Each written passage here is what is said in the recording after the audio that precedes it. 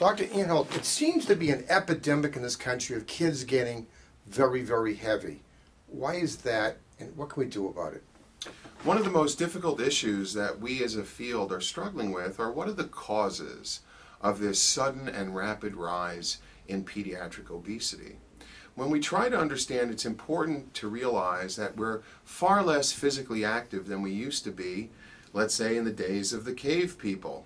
When we would go out, we would hunt, we would gather. This burned a lot of energy. Today, we spend most of our time behind desks. We take elevators and escalators to most places, and we'll spend an extra 15 to 20 minutes circling in the parking lot looking for a closer spot. At the same time that we've reduced the amount of energy that we burn, we've increased the amount of energy we consume. That is, we've had larger portions of french fries, popcorn, lots of snacks and junk food, and it's become a part of our culture that seems to not stop. Those two factors, the increase in the amount of calories we eat and the decrease in the amount of calories we burn, have led to a slow and steady rise in the increase in weight that we see in society today.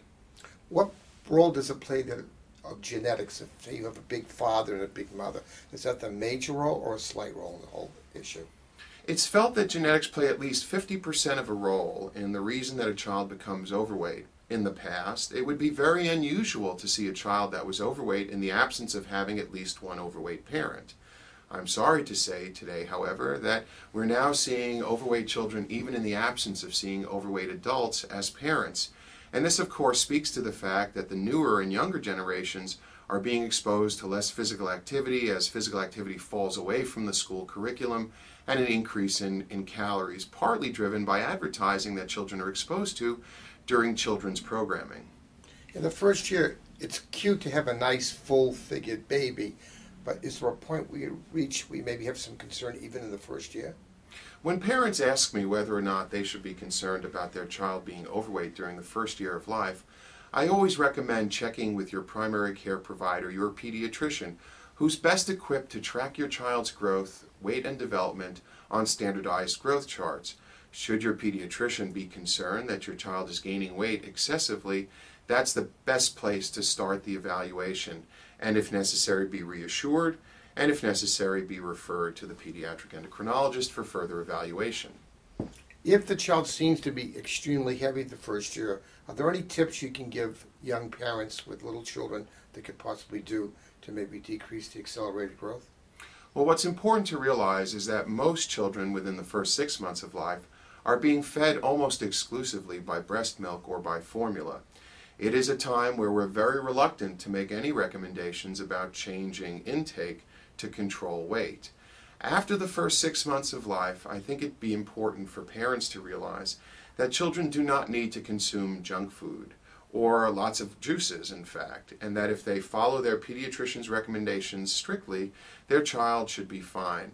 And the fact is that there are many children who seem to gain a lot of weight during the first year of life who slim down once they become uh, capable of walking and moving around. So this is a particular time where we're careful about making wide sweeping recommendations to tell parents to cut down calorie intake because of the concern that we may be depriving those children of essential nutrients to allow optimal brain growth and body development. This new phenomenon, it seems that the TV with DVDs became the new babysitter. Is that a good habit to get in the beginning, or is that something maybe you should limit a little bit? I think it's important to stress that the television is, of course, not a substitute for interpersonal interactions with children and uh, adults. For a variety of reasons, I believe that television should be limited. A, it's important that children avoid the kind of images that television often portrays, in particular young children, which can be frightening as well as leading to distorted body images.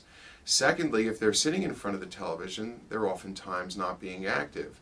So I, I would rather find other alternative means of keeping children busy and ways, of course, that would involve interacting with adults to give those children the opportunity to learn and model appropriate behaviors.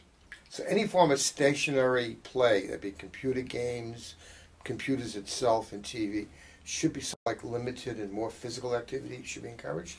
Without question, we have to get back to basics, and that is children need to play and need to play actively. It's not appropriate for children to spend hours in front of the television and in front of uh, video games. In fact, the average American child today is spending anywhere between four to six hours a day in front of the television and in front of video games.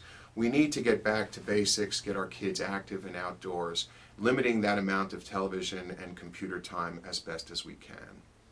What would be your best suggestion as a kid develops to avoid certain types of foods maybe in the diet that may be helpful or certain foods you encourage? What would that be? I often hear from parents that they don't want to quote unquote deprive their children of appropriate snacks because the rest of their friends are having snacks. I, I try to make the analogy that this is sort of like smoking.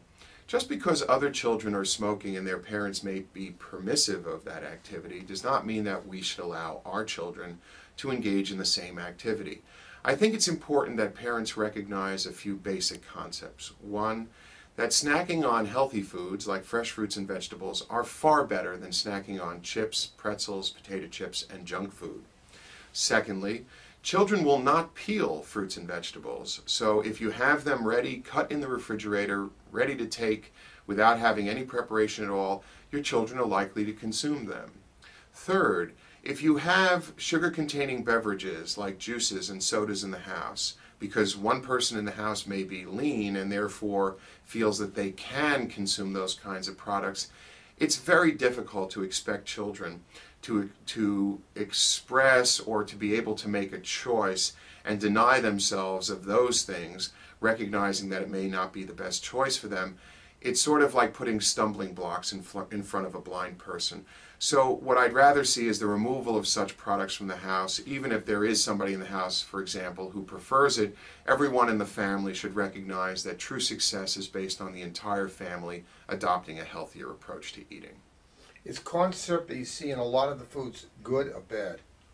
High fructose corn syrup, which is now a, a, main ingredient of many products, including some of the breakfast cereals, is undoubtedly not the best form of sweetener that we can have. And what I urge parents to do when they go to the supermarket is to pick up the cereal boxes that they feed their children in the morning and look at the first three to four ingredients. If the first three to four ingredients are sugars of one sort or another, simple sugars or corn syrup, for example, that's a product that I would avoid because when children consume high levels of fructose or uh, corn syrup or sugars, they're going to experience a surge in insulin. And insulin is a hormone, a chemical messenger made in one part of the body that can in fact work on, on the brain to increase appetite.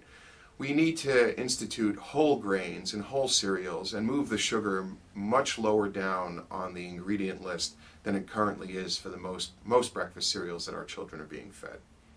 If for some reason the child is very heavy and is say is a high school kid, are there programs around New York and other parts of the country that deal with this, and what would be their goals and what, what the methodology to help these kids? Certainly, what's most important to keep in mind is that parents, in their best desire to help their children, need to avoid negative reinforcement. Don't do this. I told you not to do that. If you do this, you know what may happen. It's important for parents to realize that those kinds of approaches aren't particularly effective. Rather, a multidisciplinary approach, that is, the use of exercise, the use of diet, the use of behavior modification, to change children's behavior and have the whole family participate, are key elements in true success. There are a couple of programs that I'm aware of. One program at the Maimonides Medical Center, which I helped found, called the Kids Weight Down Program, and a program here at the St. Barnabas Medical Center Ambulatory Care Program called the Healthy Life Program. Both of these programs excel in that they offer multidisciplinary approaches to children who are overweight, whose families and children require this kind of approach. So what the approach would basically would encourage what physical activity, selective eating, what? I think it's important to start with an assessment of the family to get a sense of the family dynamic and what they're capable of doing. Secondly, a careful analysis of the child's physical activities in the past and in the present are also important. And lastly, and, the, and perhaps the most important element, is an analysis of the current dietary intake. Once those three assessments are made and ready